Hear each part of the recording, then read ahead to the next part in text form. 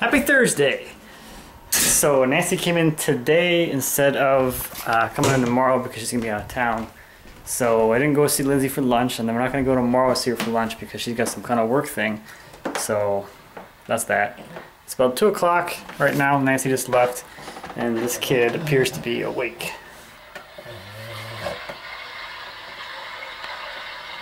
What are you doing in there? What are you doing? What are you doing? Are you sleeping? Did you sleep? Is that a blankie? Thank you, dude.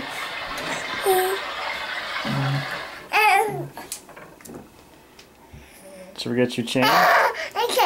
Alright, buddy, let's get you changed and you can run around, okay? JR, what's going on?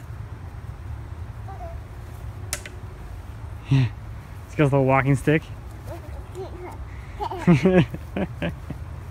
so JR's been playing and I've been working on getting this thing situated.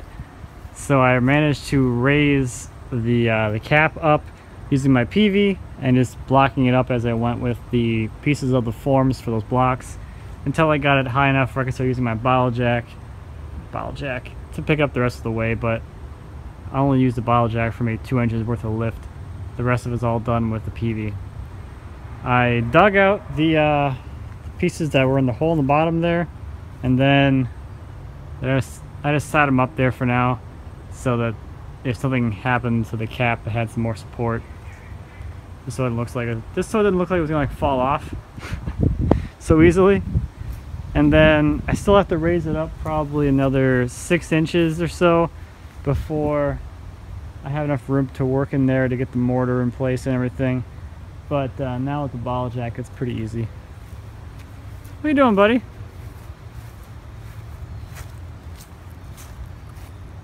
What are you eating? What are you eating? Come back here. What are you eating? Come here. What is that? No crab apples for you. You're gonna choke.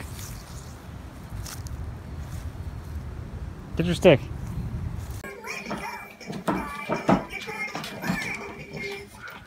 Playing with this new toy from his nana and grandpa.